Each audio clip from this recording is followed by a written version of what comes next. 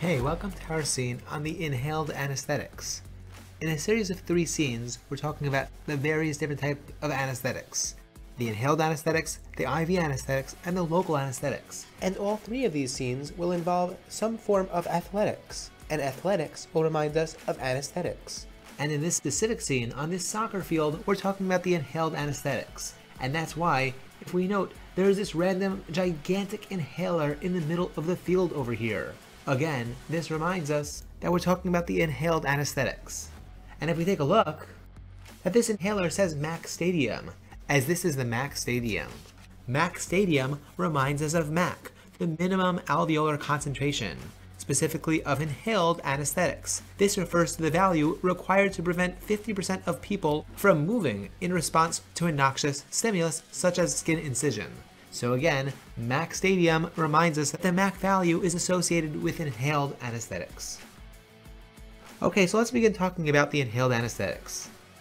You might have noticed that on this soccer field over here, there were these soccer players sort of raining down from the sky. These soccer players are raining down. This reminds us that the inhaled anesthetics have the suffix rain.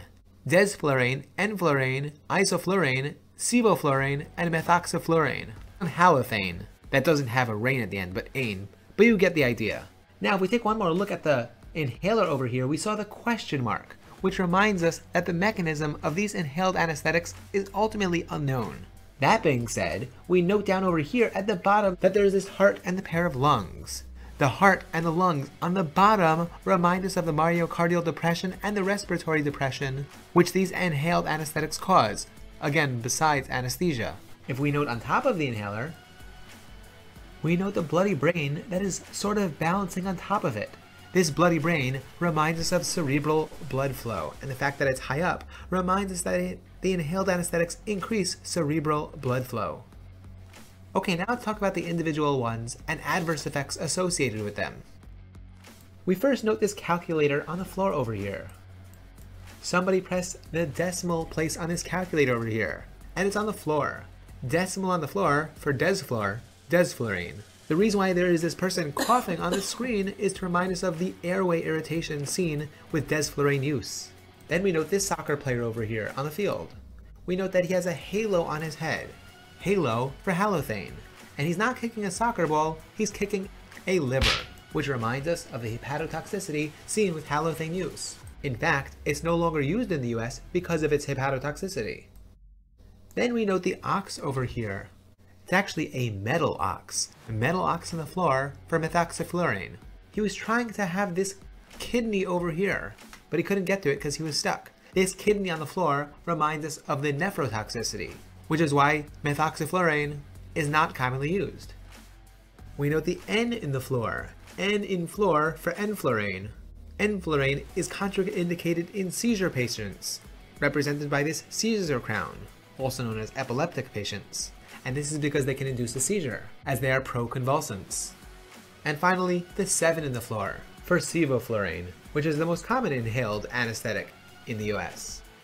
Now, all of these characters were near this guy over here. This scary, or we'll say malignant guy over here, who's very hot, reminds us of malignant hyperthermia, which we've mentioned so far are associated with. Malignant hyperthermia is a rare, life-threatening condition in which inhaled anesthetics induce severe muscle contractions and hyperthermia.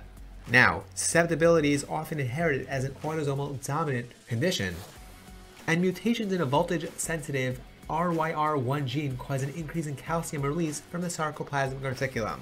So we have this red gun over here that he has behind him, and he always keeps on him. This red gun reminds us of RYR1. RYR1 gene, which again, a mutation causes the increase in calcium release from the sarcoplasmic reticulum, predisposing a patient to malignant hyperthermia. Treatment for malignant hyperthermia includes dantrolene, which is a ryanodine receptor antagonist. Okay, there's one more inhaled anesthetic which we want to talk about. And that's represented by this night guy over here, watching the scary malignant hyperthermia monster. But he's away from the monster, and that's because night ox for nitric oxide does not cause malignant hyperthermia. We didn't put this in the scene in order to make things a little bit more simple, but nitrous oxide is an NMDA receptor antagonist. I guess we can imagine that this night ox over here antagonizes nomads. Anyway, it is fast acting, as this night ox over here is fast. And at lower concentrations, it actually has analgesic effects, which is why dentists use them. This oxide is associated with the second gas effect. It can also cause expansion of gas in the body cavity.